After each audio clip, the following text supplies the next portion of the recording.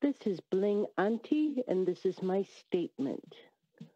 Why I no longer trust Paparazzi Accessories and its founders. Do we know the truth about heavy metals in their jewelry? As a former independent consultant of Paparazzi Accessories, I used to believe that the company's jewelry was lead and nickel free, as the founders, Trent Kirby, Misty Kirby, Ryan Reeve, and Chantel Reeve had long claimed.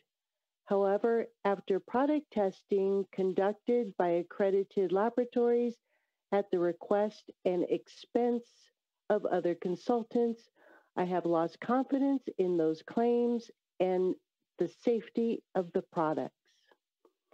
The results of multiple tests show that the jewelry contains levels of heavy metals that exceed the standards of consumer product safety. As a responsible seller and consumer, I cannot ignore the test results and risk the health and trust of my customers. Even though in America, a person accused is innocent until proven guilty. I believe that the test results are compelling enough to warrant caution and action. Five class action lawsuits and a counterclaim action were already pending against paparazzi when on Thursday, April 6, 2023, the insurance company that is paying paparazzi's legal bills filed suit against the company itself. This is an extraordinary action that suggests a breach of contract. I was so concerned about the matter that I streamed a live video on YouTube to explain the lawsuit and its implications for paparazzi's business and reputation. I also took further actions to protect and prepare my business for the possibility of an abrupt end to retailing paparazzi's products. However, my consultant agreement was terminated by paparazzi's compliance department 10 days later, citing my disparaging remarks against the company and my selling of products below the mandatory price of $5. While I respect the company's right to enforce its policies and protect its interests, I stand by my decision to prioritize the safety of my customers and myself. I have removed all paparazzi accessories products from my e commerce site. The truth about heavy metals in paparazzi's jewelry must be brought forth through the legal process. As a society, we have the right and duty to demand better and safer products from the companies we buy from and support. By sharing this information and taking responsible actions, we can prevent harm and promote transparency and accountability in the fashion industry. That was my statement, and I stand by it. This is the official statement of Paparazzi Accessories. It is found on their website at paparazzi-accessories.helpscoutdocs.com slash article slash 38 hyphen what hyphen is hyphen the hyphen jewelry hyphen made hyphen of. What is the jewelry made of? All paparazzi accessories meet applicable consumer safety laws and regulations in the United States. The metals found in paparazzi accessories pieces are primarily iron and include other trace minerals. Those trace minerals are made up of a metallic alloy of either zinc, steel, or aluminum. Before our jewelry is sold, paparazzi tests its jewelry for chemicals of concern using labs that are accepted by the United States Consumer Product Safety Commission paparazzi accessories are not hypoallergenic.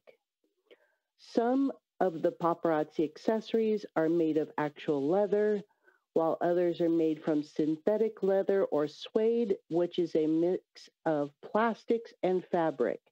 It is the same type of material found in many shoes, jackets, and other apparel. While some people may be more sensitive to the smell of these items, it is not harmful. Removing the bracelets from the plastic they are packaged in will help the smell dissipate more quickly if desired. Some of the bracelets and rings may have latex in the elastic stretch band. Paparazzi recommends that per- those persons with sensitivity to latex buy the suede or leather bracelets instead. Some of the stones in the accessories are natural stone, and some of the stones are made of powder from natural stones. When not made of stone or stone powder, many of the beads in the accessories are made from resin, cubic zirconium, glass, or acrylic. The best resource for describing the accessories to a customer is to rely on the description of each accessory as found in the back office last updated on November 17, 2022. The statement differs from the email statement sent to active paparazzi accessories independent consultants on Wednesday, December 2nd, 2021, which reads Dear consultant, we are writing to address misleading and false rumors regarding the contents of paparazzi jewelry. Paparazzi accessories meets applicable safety laws and regulations in the United States, including California Proposition 65, which is one of the most stringent consumer laws in the United States. Even though some jewelry may contain trace amounts of lead and nickel, the metals found in paparazzi jewelry pieces are primarily made of iron and include other trace minerals. Those trace minerals are made up of a metallic alloy of either zinc, steel, or aluminum. Before our jewelry is sold, paparazzi tests its jewelry for chemicals of concern using labs that are accepted by the United States Consumer Product Safety Commission. Paparazzi Accessories is required to undergo testing for compliance with California's Prop- Proposition 65. This process includes testing for all heavy metals, including lead, nickel, and cadmium, as well as testing for phthalates. The testing process also ensures the requirement of the Federal Trade Commission Green Guide are met. These guidelines provide businesses with gen- general principles that apply to all environmental marketing claims, among other things. Pursuant to the Green Guide, a company is permitted to describe an item as free of or does not contain a certain substance, even for a product package or service that contains or uses a trace amount of the substance if one, the level of the specified substance is no more than that which would be found as an acknowledged trace contaminant or background level. Two, the substance's presence does not cause material harm that consumers typically associate with that substance. And three, the substance has not been added intentionally to the product. We are confident that our products are safe and pose no danger to you.